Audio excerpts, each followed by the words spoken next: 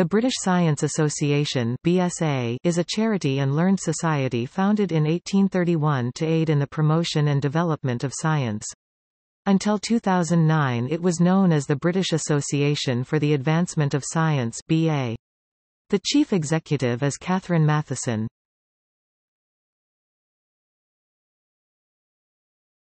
Topic: History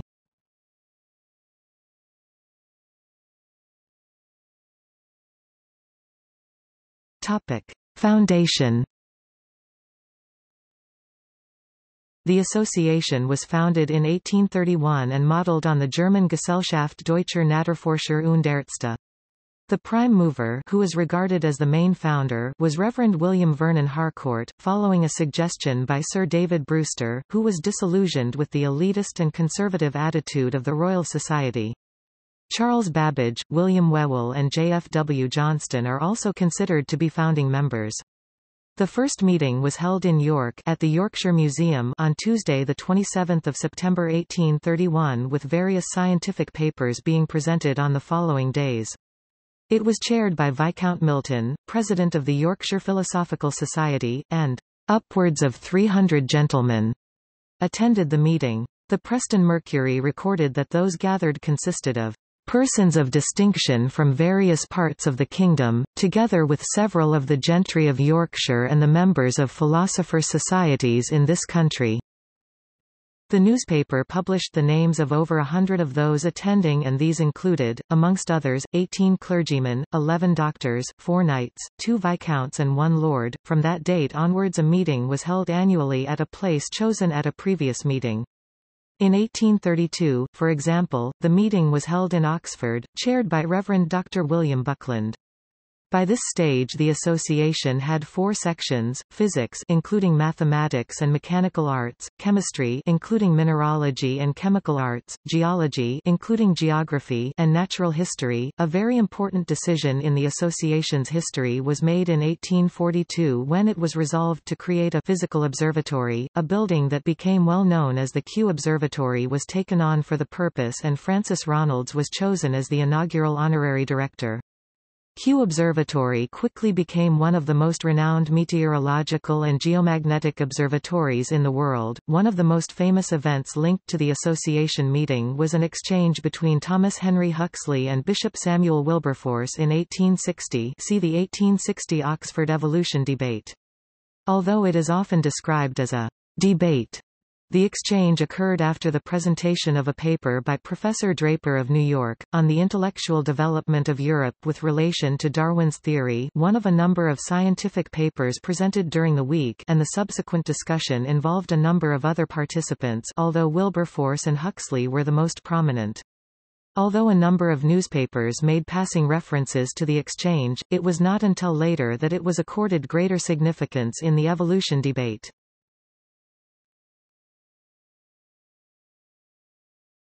Topic: Electrical standards. One of the most important contributions of the British Association was the establishment of standards for electrical usage, the ohm as the unit of electrical resistance, the volt as the unit of electrical potential, and the ampere as the unit of electrical current.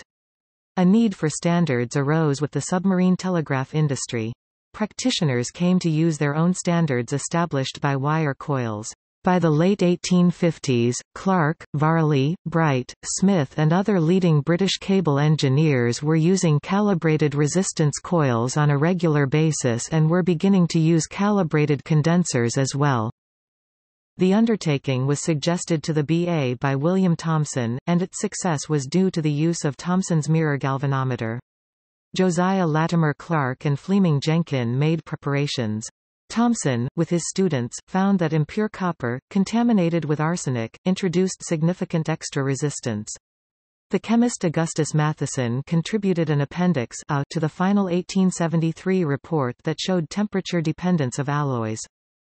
The natural relation between these units are clearly, that a unit of electromotive force between two points of a conductor separated by a unit of resistance shall produce unit current, and that this current in a unit of time convey a unit quantity of electricity. The unit system was absolute, since it agreed with previously accepted units of work, or energy.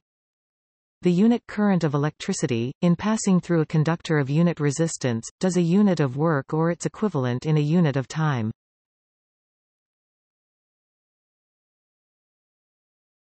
Topic. Other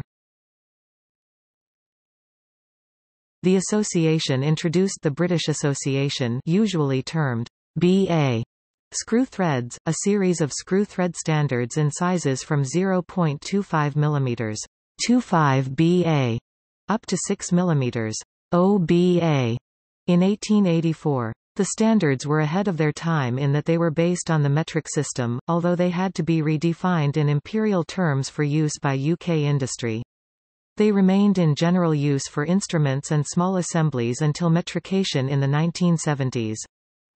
A decision that became notorious in the 20th century was made in 1878 when a committee of the association recommended against constructing Charles Babbage's analytical engine. The association was parodied by English novelist Charles Dickens as the Mudfog Society for the Advancement of Everything in the Mudfog Papers 1837 to 38.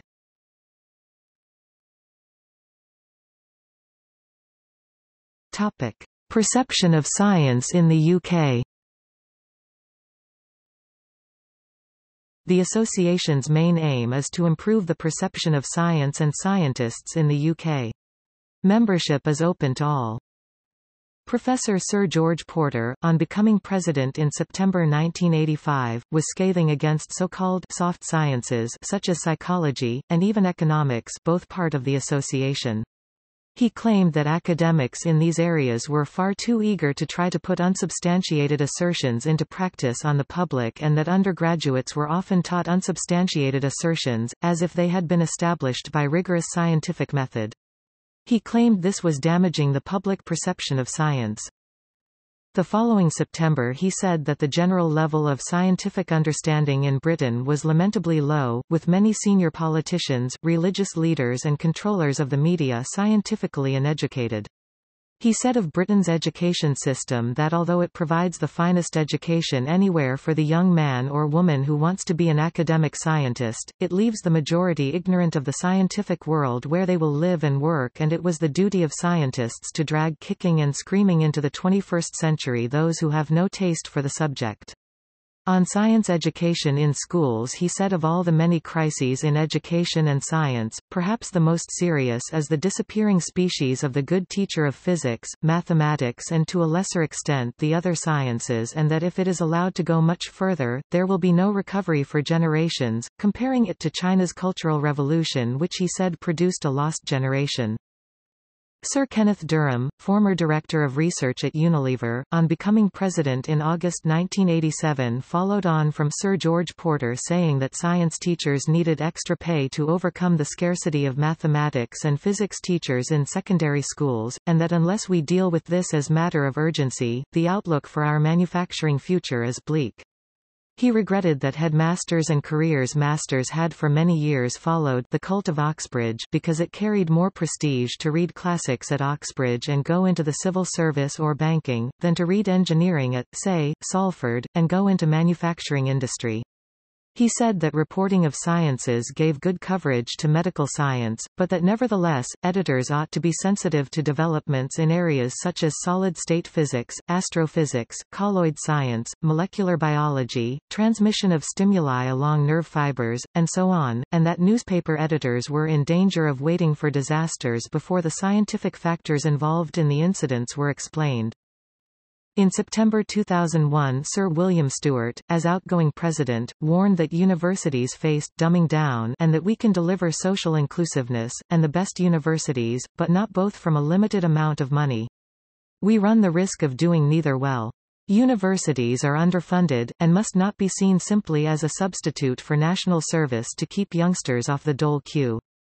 He also said scientists have to be careful and consider the full implications of what they are seeking to achieve. The problem with some clever people is that they find cleverer ways of being stupid. In September 2003 Sir Peter Williams, the outgoing president, said that the world was facing a shortage of scientists because too many young people dropped the subject at an early age.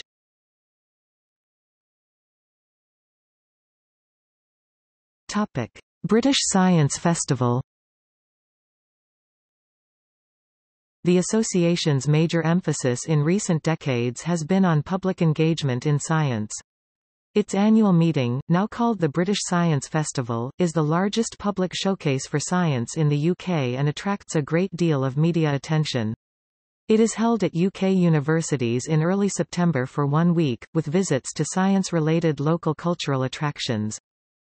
The 2010 festival, held in Birmingham with Aston University as lead university partner, featured a prank event, the unveiling of Dulci fetidus, a fictional plant purported to emit a pungent odor. An experiment in herd mentality, some audience members were induced into believing they could smell it. The festival also hosts the X-Change a lively informal roundup of the day's events where festival goers can ask questions, debate and hear star speakers. The festival has also been the home to protest and debate. In 1970 there were protesters over the use of science for weapons.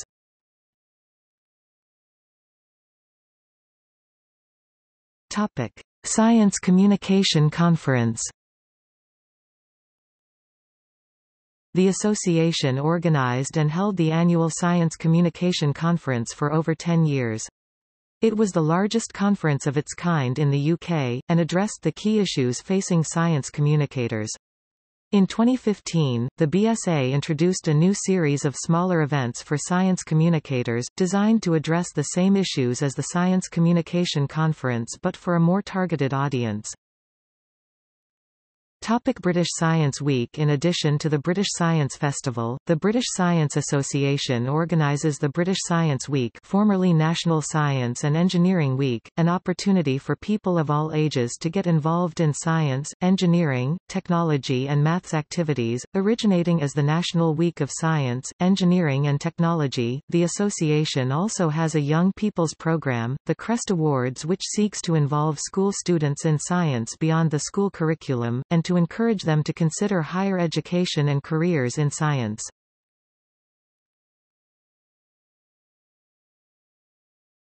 Topic. Patrons and presidents of the British Science Association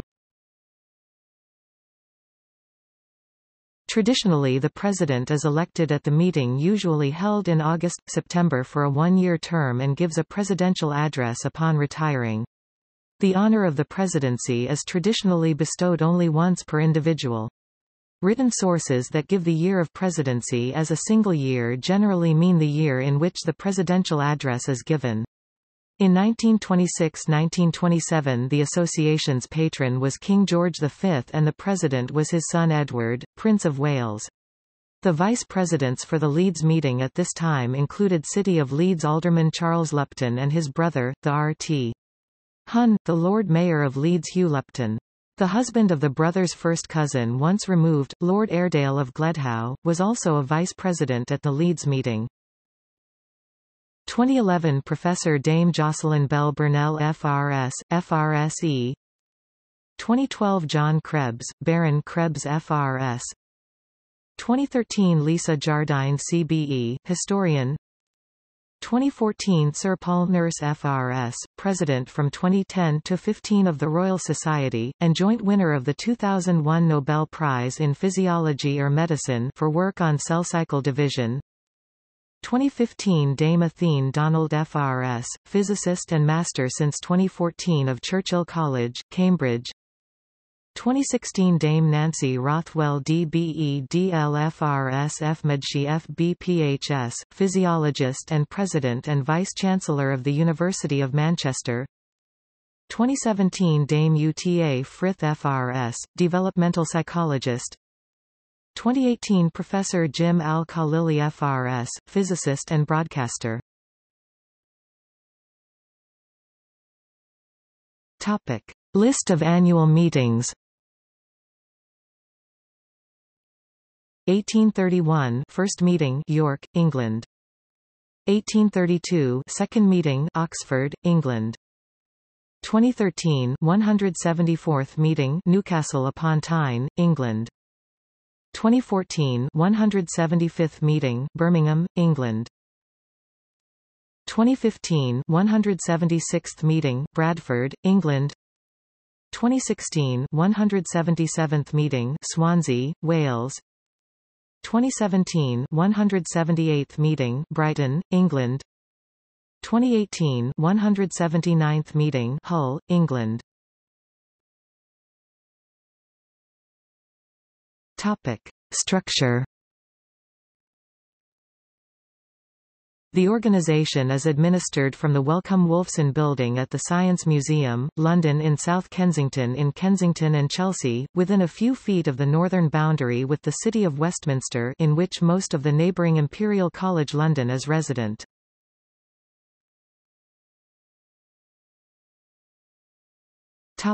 See also 1860 Oxford evolution debate American Association for the Advancement of Science Association of British Science Writers Café Scientifique Glossary of Astronomy Glossary of Biology Glossary of Chemistry Glossary of Engineering Glossary of Physics Guildhall Lectures National Science Week Royal Institution Royal Society Scandinavian Scientist Conference 1839 to 1936 Science Abstracts. Science Festival